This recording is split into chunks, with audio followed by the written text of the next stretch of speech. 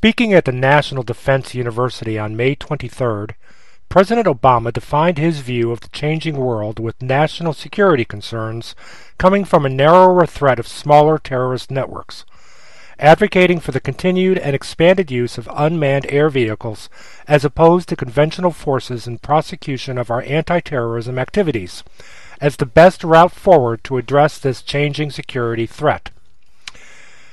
Neither I nor any president can promise the total defeat of terror, Mr. Obama said. What we can do, what we must do, is dismantle networks that pose a direct danger and make it less likely for new groups to gain a foothold, all while maintaining the freedoms and ideals that we defend. Invasions of territories lead us to be viewed as occupying armies, unleash a torrent of unintended consequences, are difficult to contain, and ultimately empower those who thrive on violent conflict. Our actions are effective. Don't take my word for it. In the intelligence gathered at bin Laden's compound, the president said, we found that he wrote we could lose the reserves to the enemy's airstrikes. Simply put, these strikes have saved lives, the president said.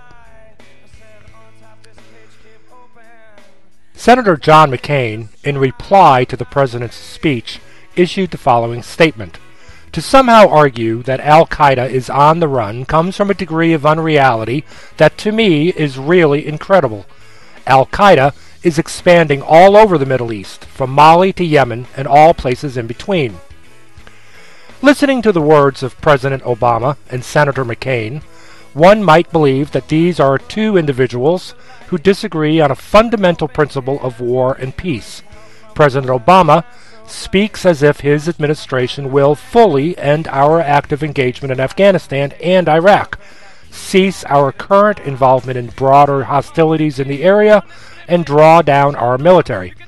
Mr. Obama speaks of reaping benefits from this return to a peaceful footing for domestic programs.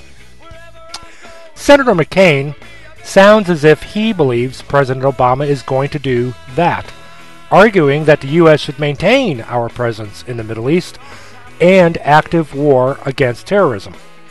I believe that in reality, these two gentlemen are in violent agreement, with the actual argument not over war and peace, just the amount and type of lethality which the United States will dole out in pursuit of this war on terrorism. Mr. Obama not advocating for a cessation of hostilities, but rather and only a refinement in delivery of military power. One need do nothing more than follow the money. President Obama's administration touts the fact that 50% of the boots on the ground, the troops in Afghanistan, will have left the country by the end of this year. Looking at the budget requests from the Pentagon for Afghanistan next year, you see it is reduced only 10%. Some of this loss of savings is from increased cost of contractors, but much is from replacement costs of UAV operating expense in lieu of personnel related troop costs. The administration continues forward deployment of units from the Marine Corps and Army inter- integrated with the latest UAV platforms along with logistic and training support into Africa from Libya to Uganda as part of both NATO and bilateral agreements. Marine units continue to integrate and expand deployment rotations to the Black Sea, while the U.S. Army moves forward with plans for major forward deployment expansion at Pagan Island in the Pacific.